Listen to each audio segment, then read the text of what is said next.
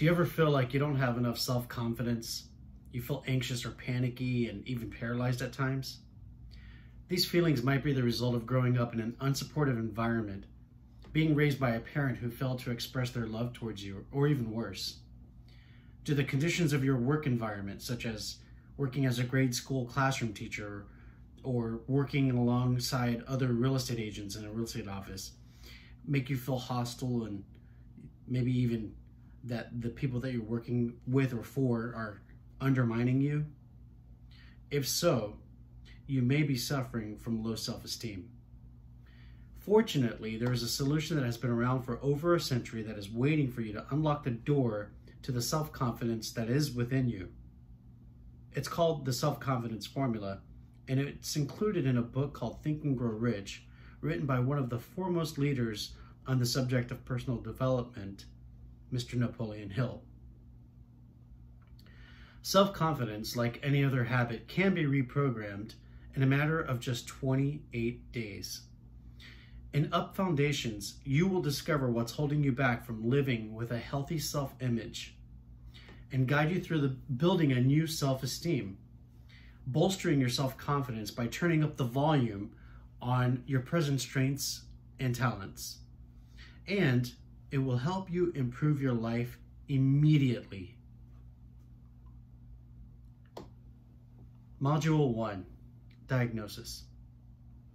You may be asking yourself, what is low self-esteem?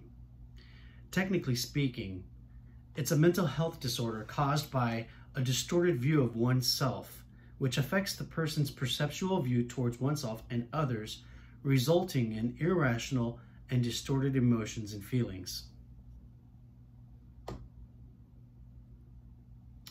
In plain language, LSE affects every aspect of your life because you feel inadequate, incompetent, unacceptable, unlovable, unworthy, and maybe even foolish. This internal problem causes you to feel depressed, anxious, and panicky, and it undermines your personal and professional growth and development because you'll be engaging in self-sabotaging behavior without even knowing that you're doing it. And it causes you to also seek unhealthy and chaotic relationships. Some scholars estimate that over half the population suffers from LSE yet most people go untreated. LSE forms during early childhood development and becomes concrete by preteen adolescence.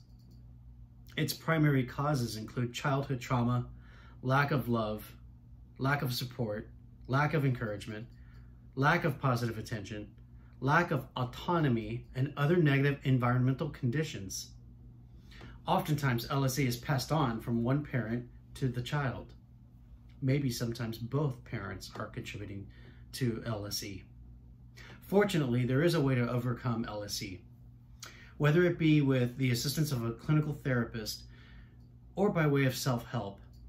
Everyone with LSE has the ability to recognize and erase their distorted self-image and irrational behaviors by, be, by reprogramming their subconscious mind with a new mental operating system that includes a healthy self-image using the principle of autosuggestion.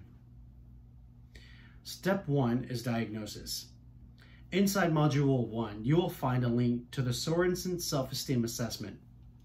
Please set aside a few minutes to take the assessment and then write down your score in a journal. You'll be looking back at it by way of comparison in 28 days at the end of the Foundation's reboot. This recovery program will work if you take the action steps included in this course. I'm rooting for you.